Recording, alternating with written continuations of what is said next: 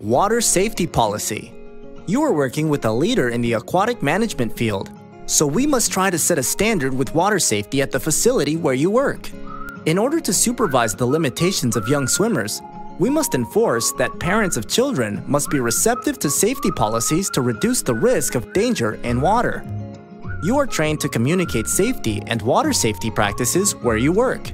These are proven methods that provide safeguards that will statistically reduce risk at the facility where you are working. Research has shown that children under the age of 14 should pass a swim test.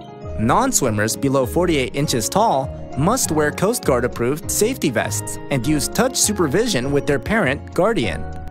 All swimmers 14 and younger must follow the Buddy System Pact.